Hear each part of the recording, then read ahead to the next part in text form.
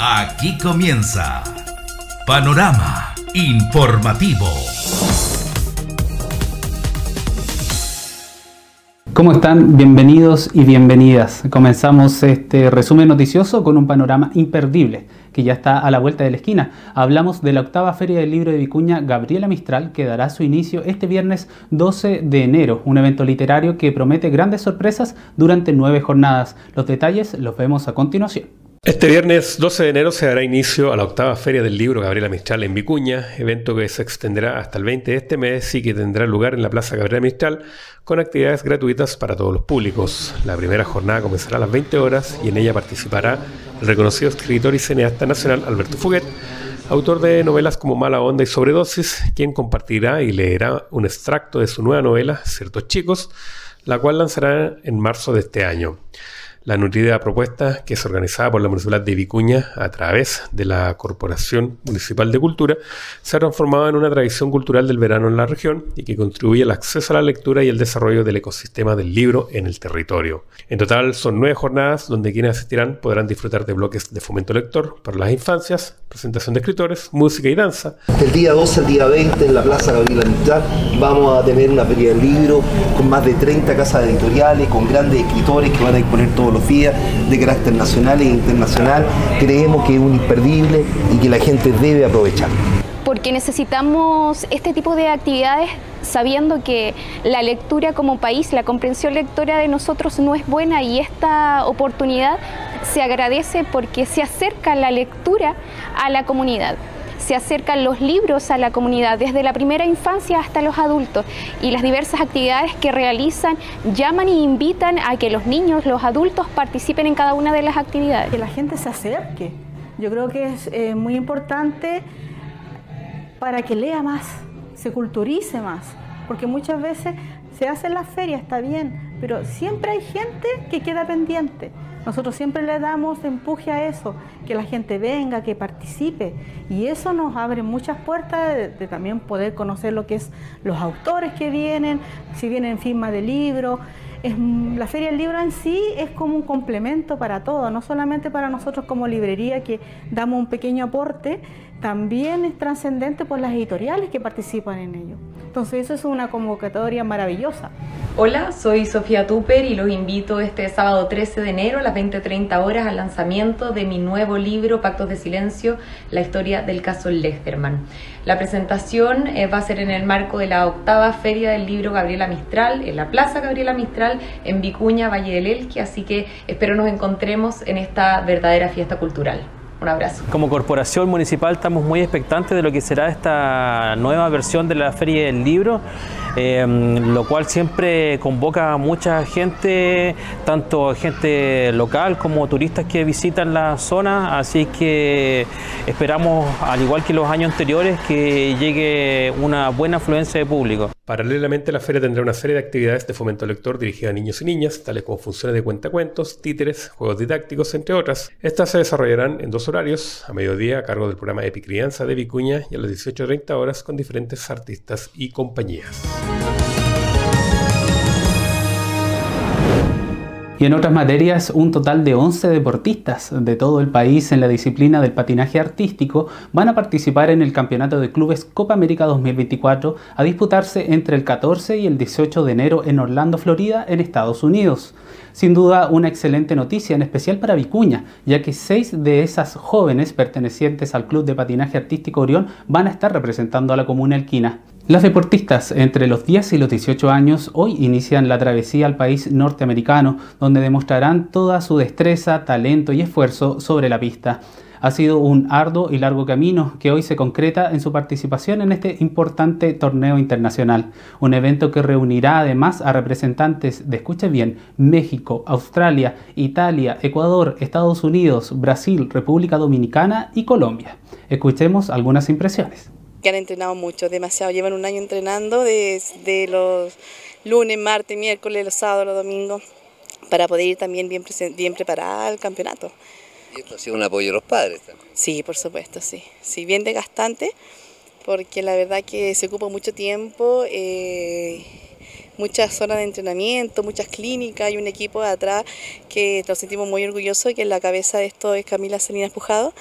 Eh, tienen profesor de mm, biomecánica, Soledad Alfaro, tienen su profesor de Argentina, Luis Pérez, también está su profesor de Santiago, Sofía Riz, y su coreógrafo, que es un espectacular, le agradecemos mucho, que saca toda la parte artística de ella, que es Gonzalo. Es un equipo muy grande detrás para poder presentar esto en la World Cup. Nos hemos tenido que entrenar demasiado, entonces eh, poder llegar ahí es súper emocionante y ahí estoy demasiado ansiosa para, eh, y bueno, igual nerviosa. Mucha emoción por, tener la oportunidad de ir allá, allá. Y... ¿Desde cuánto tiempo que practicas? Eh, de los dos años yo empecé a patinar. Dos años. O sea, lleva ocho años practicando. Sí. ¿Te gusta mucho el patinaje? Sí, me gusta mucho. Me, me alegra patinar.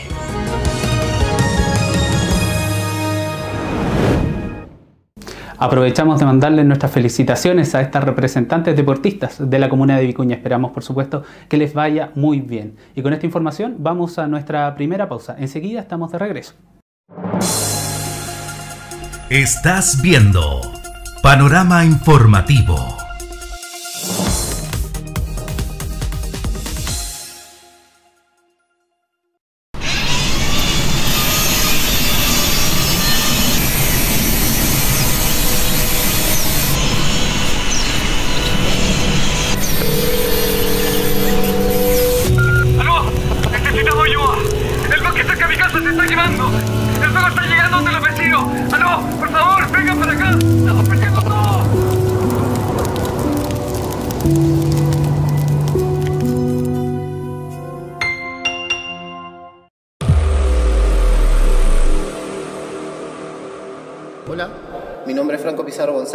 Maestro cinturón negro cuarto dan de Taekwondo WT, monitor de la Escuela Municipal de Taekwondo Vicuña.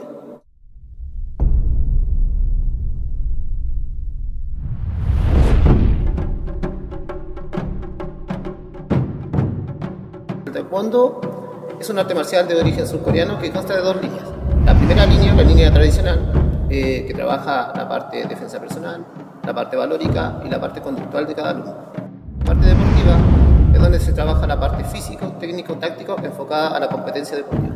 Los entrenamientos de la escuela municipal se desarrollan en el Polideportivo Carlos Munizaga Miranda los días lunes y miércoles en horario de 19 a 20, 30 horas. Las edades de los muchachos que pueden participar son de 6 a 18 años. Te invito a sumarte a la experiencia del Taekwondo WT.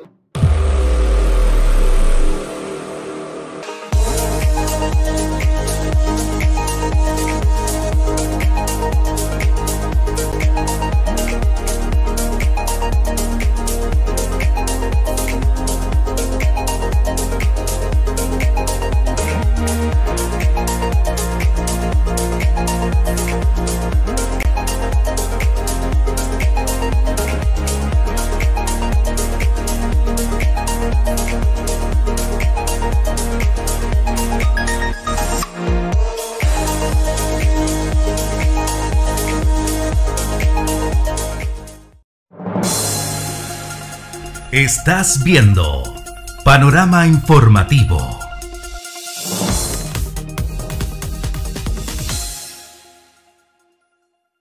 Continuamos con Panorama Informativo y les comentamos que gracias a una feria de servicios, más de 20 módulos se instalaron en la Plaza Gabriela Mistral de Vicuña para entregar atenciones en diferentes áreas, como también orientación vocacional. Les contamos los detalles en la siguiente nota.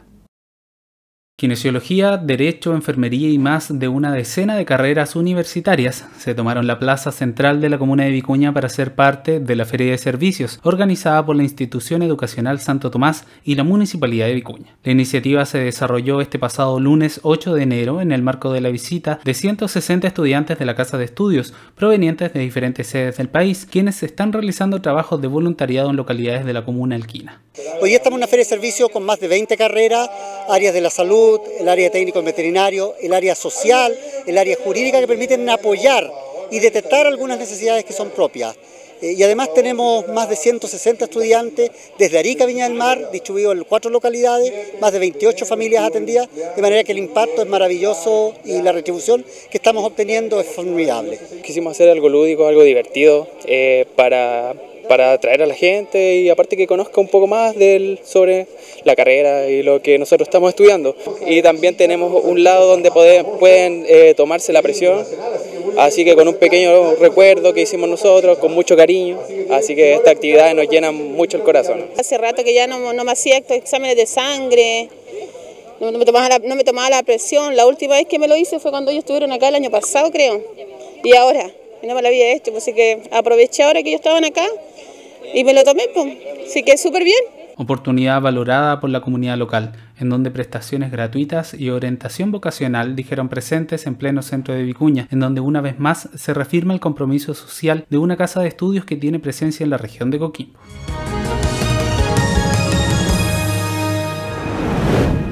Y en la misma línea, agradeciendo el apoyo, el compromiso y la cordialidad de la Municipalidad de Vicuña, la Universidad Santo Tomás entregó un reconocimiento a la entidad edilicia en el marco de los trabajos de voluntariado que se están desarrollando en la Comuna Elquina por tercer año.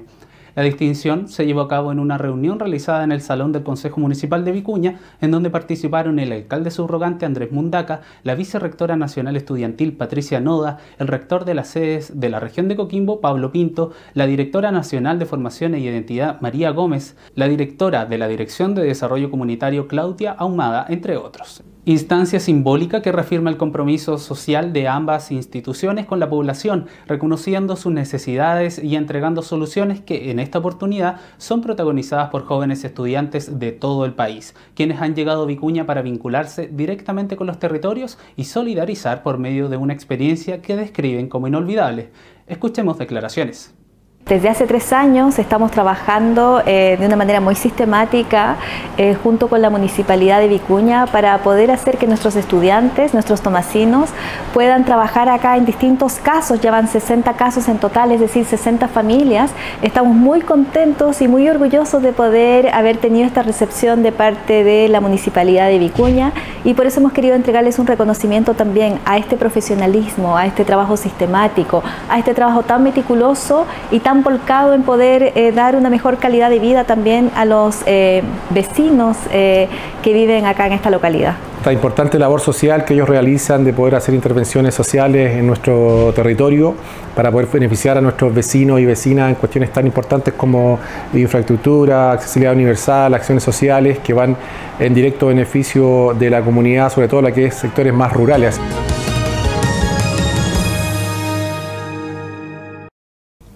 Vamos a nuestra segunda pausa. En breve estamos de vuelta.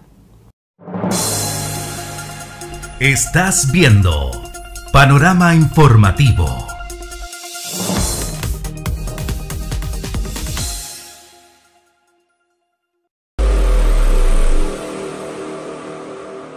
Hola, mi nombre es Roberto Robles, monitor de la Academia Municipal de Voleibol.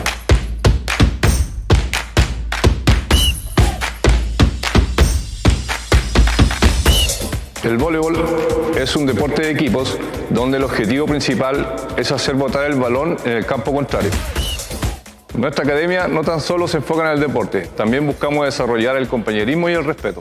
Nuestras clases se desarrollan en el polideportivo los días martes y jueves desde las 7 de la tarde. Pueden participar niñas y niños desde los 12 a 18 años. Te estamos esperando. Súmate a la familia del voleibol en Vicuña.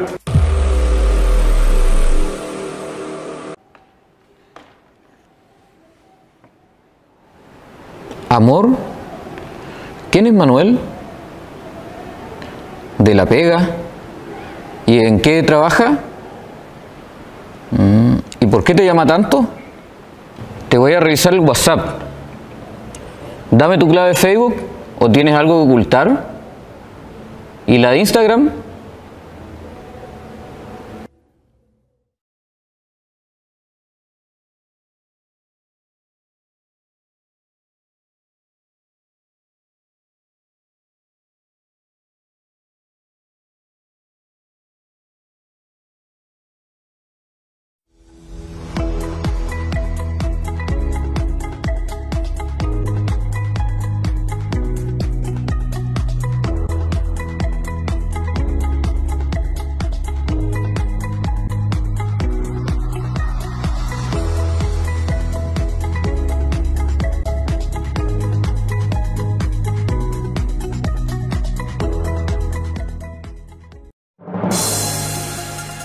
Estás viendo Panorama Informativo.